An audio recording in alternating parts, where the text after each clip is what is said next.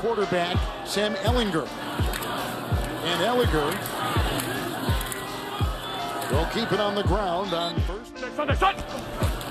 Second down, seven. Jackson again.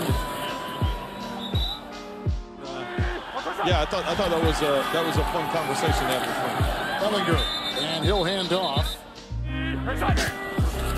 Second down, 11. Deon Jackson tapped up there.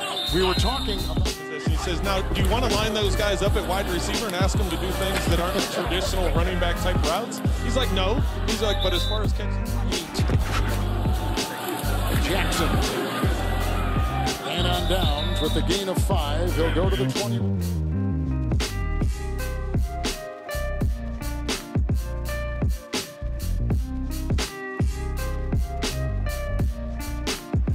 I believe Eugene.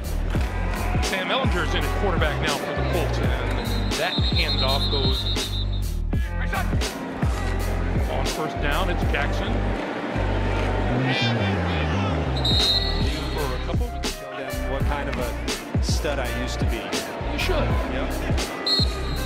I mentioned that workman-like game. It, it just it didn't seem like a lot, but they just stuck with it, and just now all of a sudden here in the third and the fourth quarter.